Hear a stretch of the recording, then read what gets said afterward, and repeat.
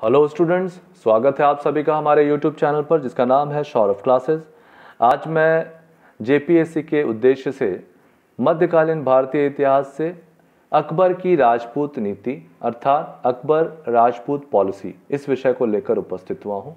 तो चलिए शुरू करते हैं।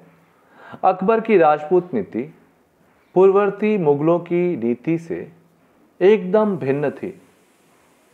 उसने भारत में मुगल साम्राज्य की दृढ़ता एवं सुरक्षा हेतु राजपूतों को अपना मित्र बनाया। उसे ऐसे मित्रों की तलाश थी जो उसे समर्थन और सहयोग दे दे सके। राजपूत अपने शौर्य एवं पराक्रम के लिए विख्यात थे। अकबर ने अनुभव किया कि राजपूतों से शत्रुता मुगलों के लिए घातक हो सकती है, लेकिन उनकी मित्रता मुगलों के लिए उपयोगी साबित होगी।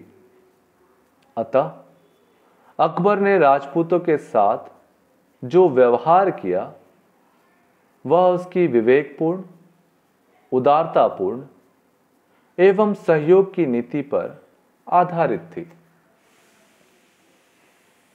अकबर ने अनुभव किया कि भारतीय बहुसंख्यक जनता मुगलों को विदेशी और लुटेरा मानती थी। भारतीयों के मन में मुगलों के प्रति कोई सहानुभूति नहीं थी। मुगलों ने अफगानों को पराजित करके उनसे उनका राज्य छीना था। अतः अफगानी मुगलों के कट्टर शत्रु थे।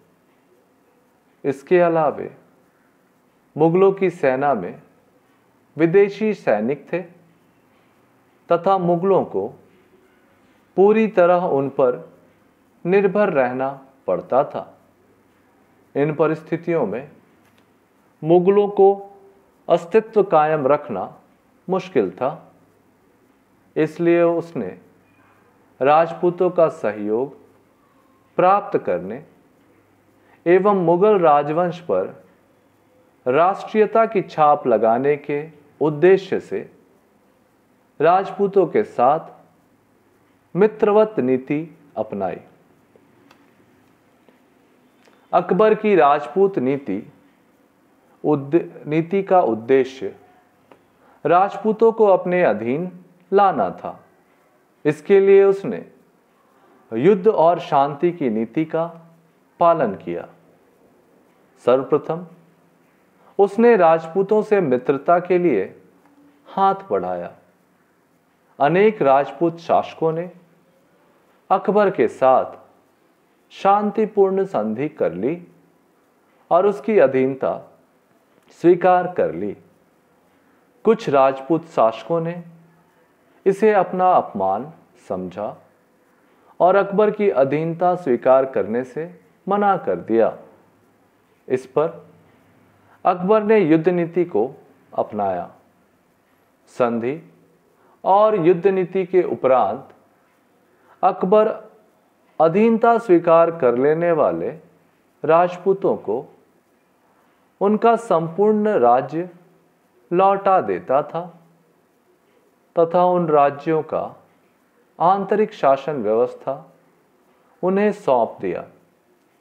परंतु उन राज्यों की वैदेशिक नीति का संचालन अकबर अपने हाथों में ले लेता था।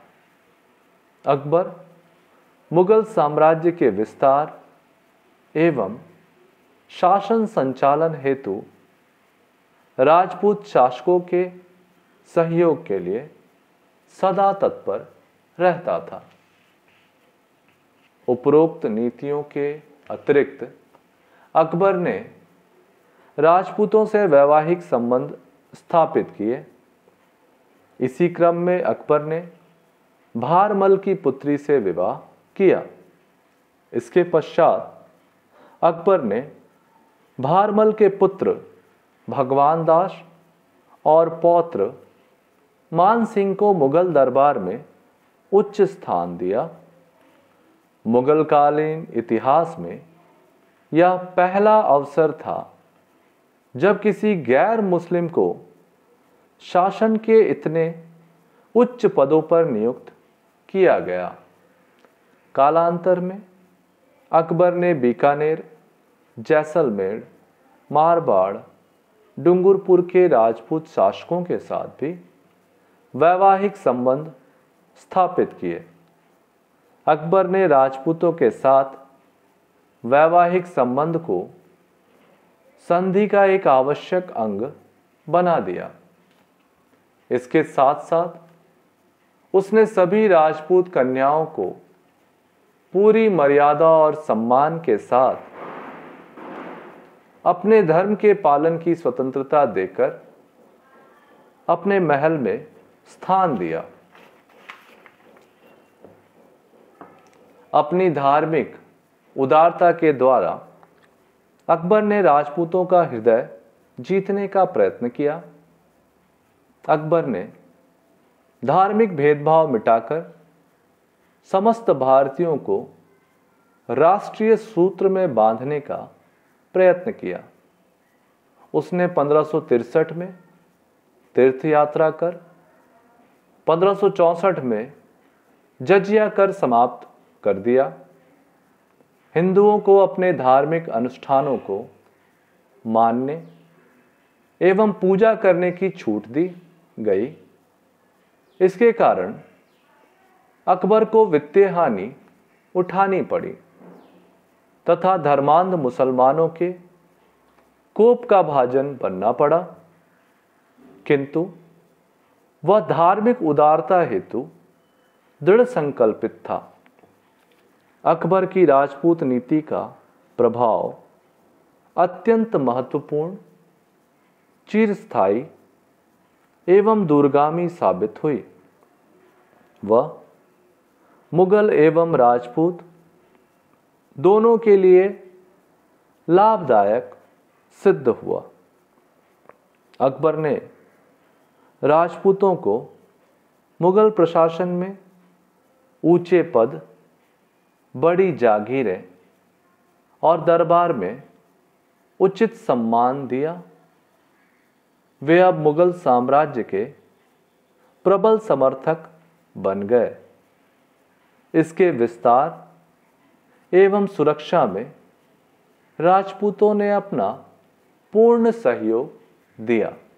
इस प्रकार हमने देखा अकबर की राजपूत नीति। तो आज के लिए बस इतना ही। धन्यवाद।